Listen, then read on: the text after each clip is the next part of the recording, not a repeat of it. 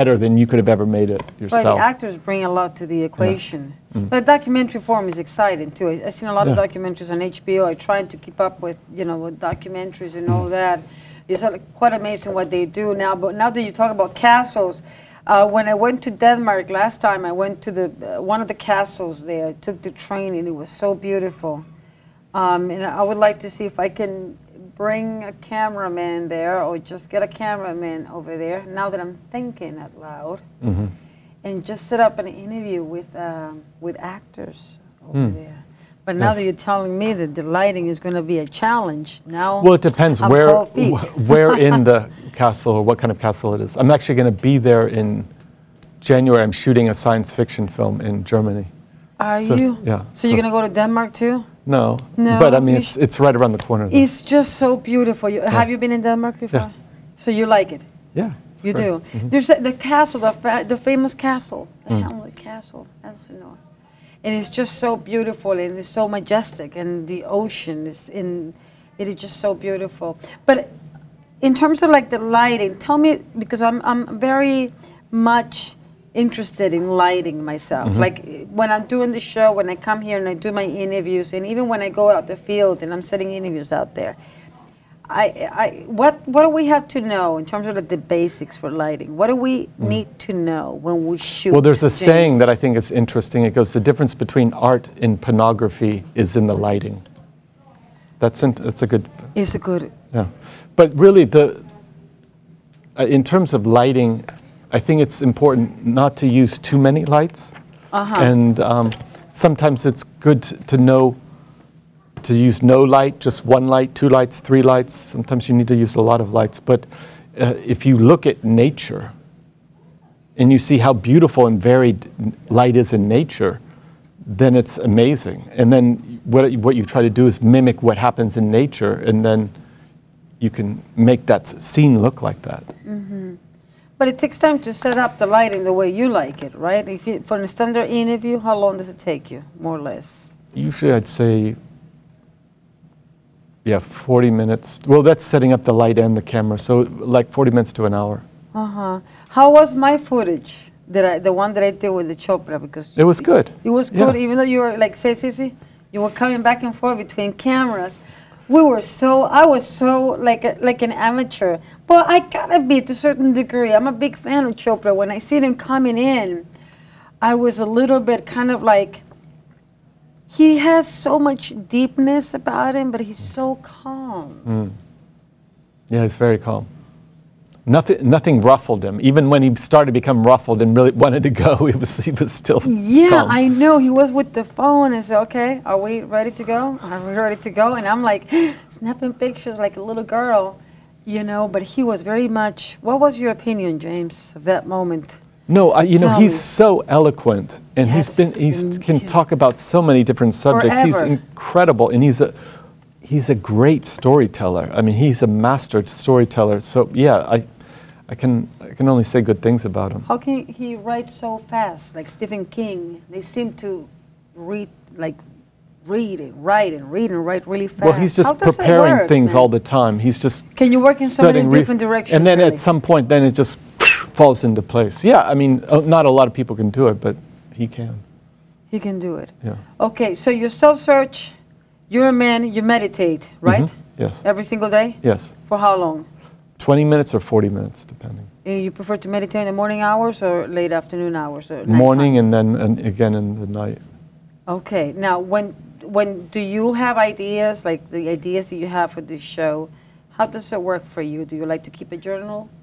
Do you? How does it work? The creative no, process. I just I just triggers it? remember it. You know, I, I remember it like. Um, you know, for some reason, I always have a, a Buto dance idea, and uh uh we're th- thinking about doing a theater show about. Um, it's a Buto theater production, but it would have to do with when the American Indians were dying.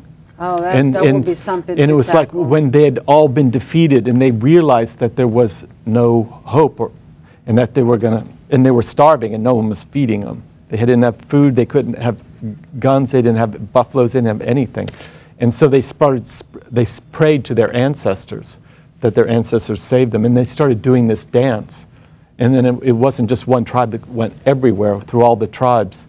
And it didn't work. And it was like they died off, most of them. A few, you know, a few lived, but um, it's a very tragic story, but I think it's very beautiful, evocative, haunting. So uh, we were talking about working on that. How do you make images poetic? It's poetry. Somebody used, I don't know, it was a famous writer who said the poetry is everywhere. I don't know if I quite agree with that statement.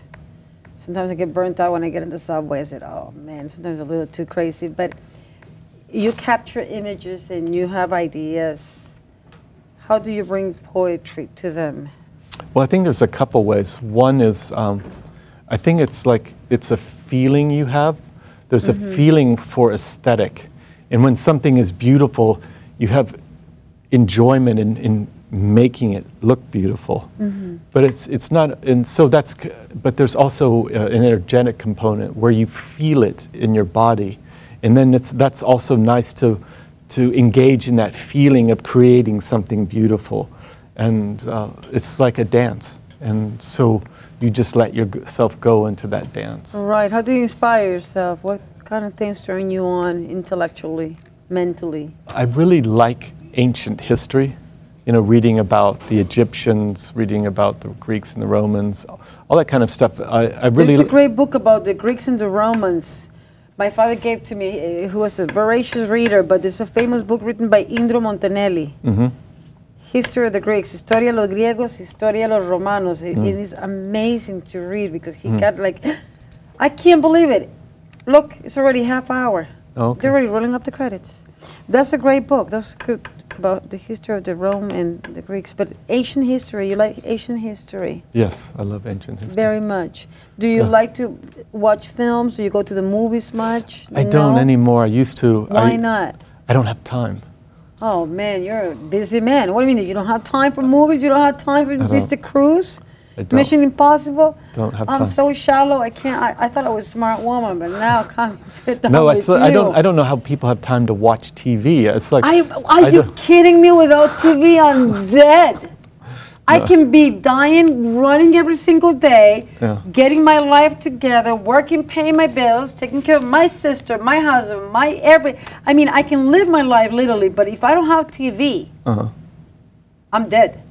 Yeah. So how do you do it? How Well, I does guess it you're work? a, you're a, a captive audience then, right? well, I mean, I gotta flip channels. So you never watch TV, No, not even the news. no.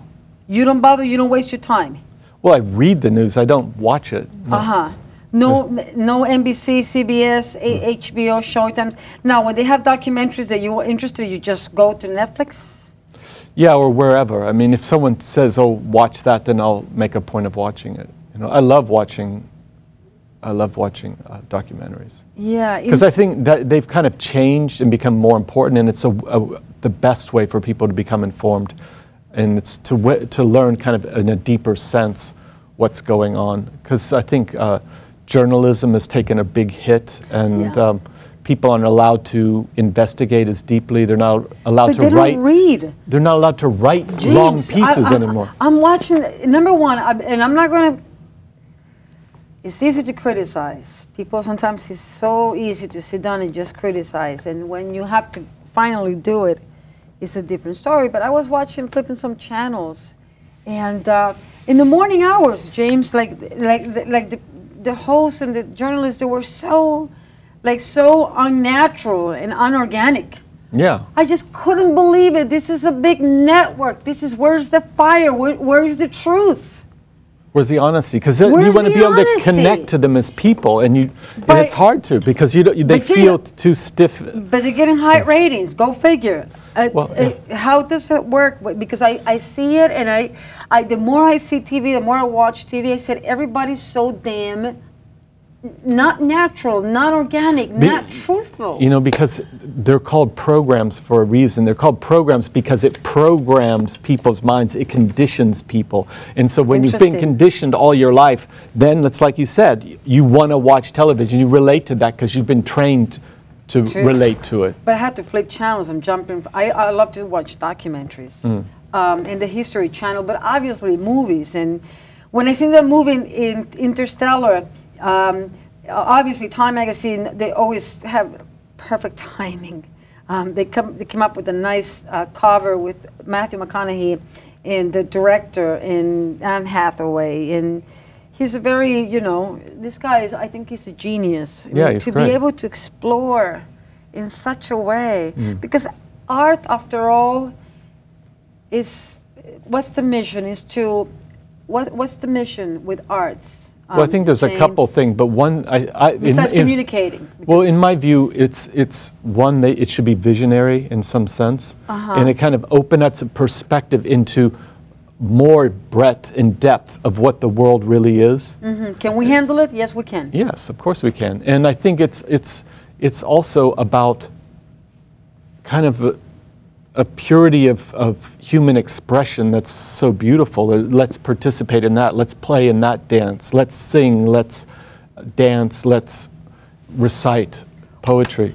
It's it's fun. You know, it's like lay your shadow on the sundial, and in the hallways let the winds flow three, free. You know, that's just it's fun to to to, to say poetry. It's like four fathom five, thy father lives. These are pearls that were his eyes, but he doth not fade, suffereth only a, ch- a sea change into something rare and strange. I mean, that's a whole universe right there, right? Right. It's amazing. You It's, can create a whole, even, Yeah. even with what, just one word, even one sentence. yeah. Even, but I, I think it's to inspire us all and to bring us to the Lord. Of, I don't know. It's gotta be. I think God is the biggest master. Is it? Is it? Is it?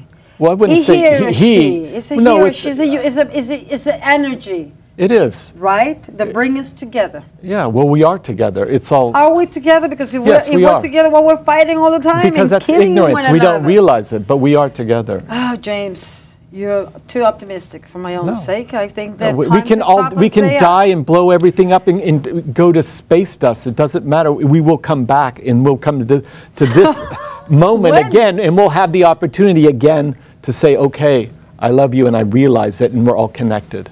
James, that would be beautiful, and it's, it's, it's, nice to hear it. And I know eh, you're a smart, smart, smart man, but when I see about what's happening out there, and when I see the pictures that you send me of your show, and thinking about what you know, what what war does to humanity, and the devastation, and, and the loss, and people dying, people killing one another.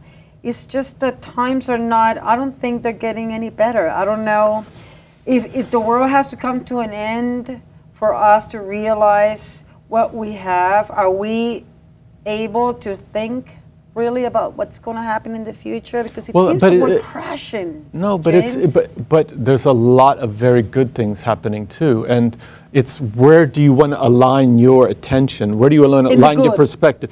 And what do you want to grow? That's what you want to grow. That's what you want to make better. So you have to focus on it to make it happen.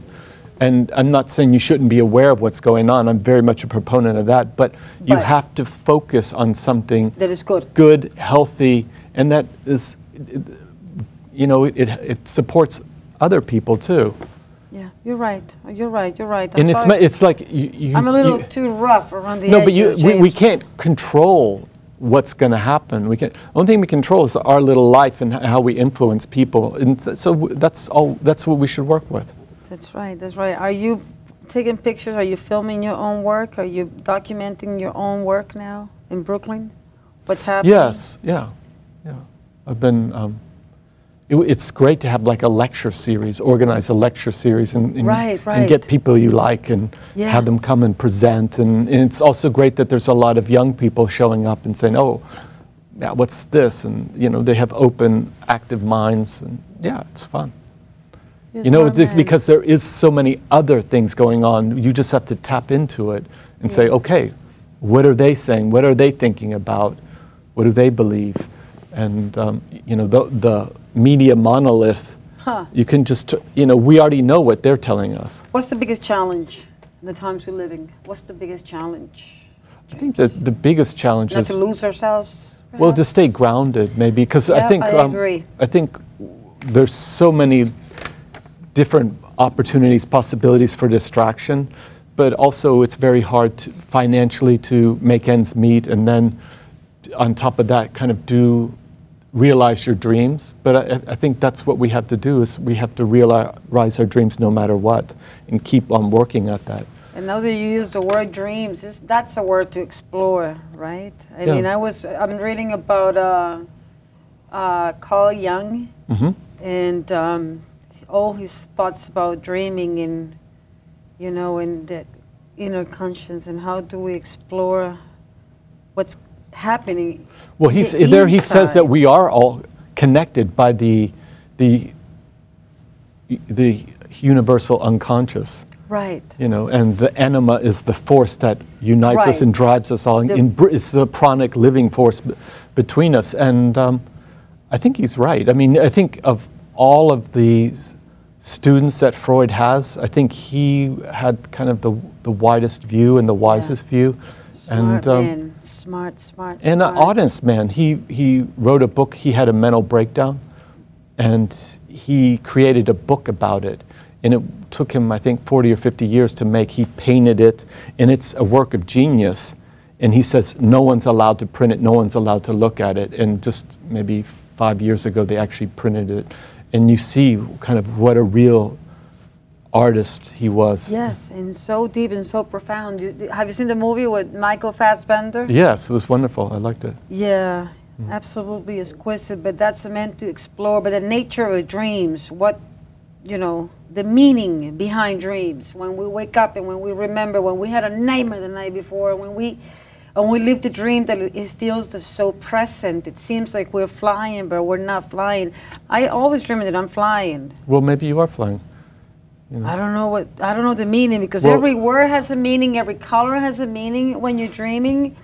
Uh, but I'm always flying and I'm always getting uh, like. well, that's a very good is it good? You That's a, yes, it's very positive if you're flying.